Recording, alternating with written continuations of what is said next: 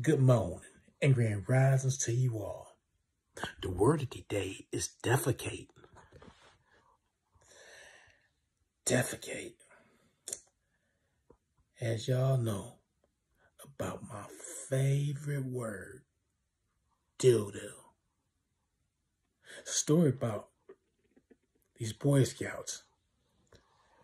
They were out on a trip and the scoutmaster says, okay, boys, before our long hike, go make sure you go to the bathroom, take care of business. And we'll all meet back here in 10 minutes.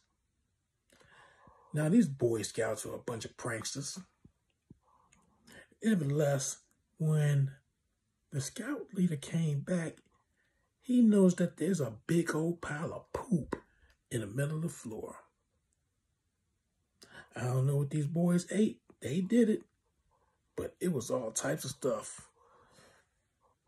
Corn, candy, worms, some rocks. I don't know.